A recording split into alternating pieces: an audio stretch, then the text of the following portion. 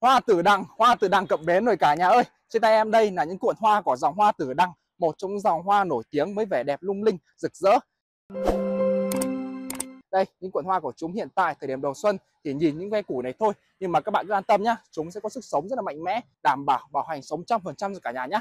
Trên cây đang chuẩn bị chung chúng những nụ rồi. Thời điểm đầu xuân thì dòng hoa tử đằng này sẽ chút hết các lớp lá của chúng đi và để nộ ra toàn những nụ hoa của chúng thôi nhá các bạn về trồng chăm sóc như một cuộn hoa này thì chỉ khoảng tầm từ 3 đến 4 tuần nữa thôi là chúng ta có thể sở hữu ngay một dàn hoa tử đằng đẹp lung linh rồi nhá. Đấy, một cuộn như này sẽ có chiều dài khoảng tầm từ 1m8 đến 2m bầu rễ thì nhà em nhập trực tiếp về bầu rễ to chắc chắn ổn định và vô cùng khỏe mạnh. Nhà em thì đảm bảo bảo hành cho cả nhà sống trăm phần trăm và sẽ ra hoa rực rỡ nhá. Màu hoa này màu hoa tím biếc các chùm hoa của chúng có chiều dài từ 20 đến 30 cm các bạn về chỉ cần chuẩn bị cho mình một dàn hoa rồi bắt chúng lên là chúng ta có thể thưởng thức ngay rồi nhá rất là phù hợp